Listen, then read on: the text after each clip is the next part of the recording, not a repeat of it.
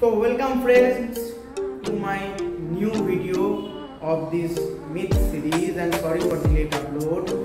তার আগে, যারা নতুন আছো প্লিজ সাবস্ক্রাইব করো লাইক করো শেয়ার করো অ্যান্ড কমেন্ট করো। প্লিজ অ্যাওয়ারনেসটা বাড়াও।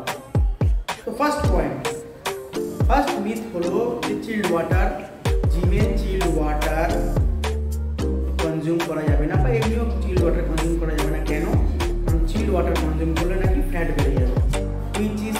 totally a myth আর এটার আমি প্রুফ দেবো, কিছু সায়েন্সের আর্টিকেল দিয়ে যেটা লেফট সাইডে আমি ডিসপ্লে করব এবং লিঙ্ক ইন দ্য ডিসক্রিপশন দিয়ে দেবো, তোমরা চাইলে পজ করে দেখতে পারো। তো বেসিক্যালি জলের মধ্যে কোনো ক্যালোরিজ থাকে না, আর ক্যালোরিজ যদি না থাকে, সেটা কোনোভাবে আমাদের ওয়েট বাড়াতে পারে না।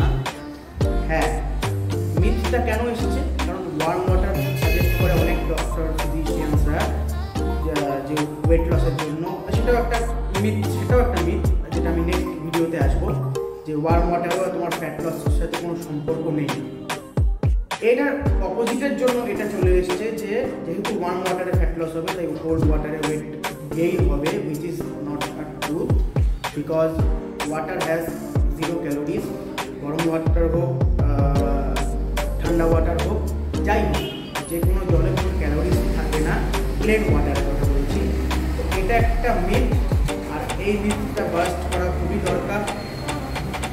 বেসিক্যালি চিল্ড ওয়াটার খেলে ফ্যাট লসের সুবিধা হয় বিকজ যখন আমরা এমন কোনো জিনিসই খাই, শুধু ওয়াটার না, যেটা আমাদের গাটের টেম্পারেচারের থেকে কম টেম্পারেচার ঠান্ডা বেশি আমাদের গাট বা আমাদের স্টমাক বা আমাদের টোটাল মেটাবলিজমের এক্সট্রা ক্যালোরিজ খরচা করতে হয়, সেই ঠান্ডা টেম্পারেচারটাকে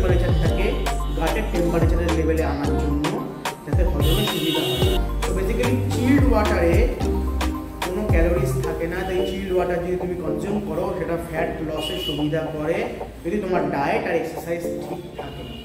তো এটা ছিল প্রথম মিথ আর আমি মিথ সিরিজটা কন্টিনিউ করব।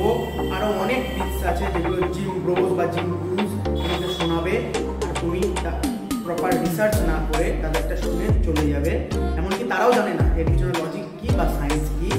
তো এরকম নতুন ভিডিও বা নিউ টপিক্সের ভিডিও দেখার জন্য please like subscribe and share করো।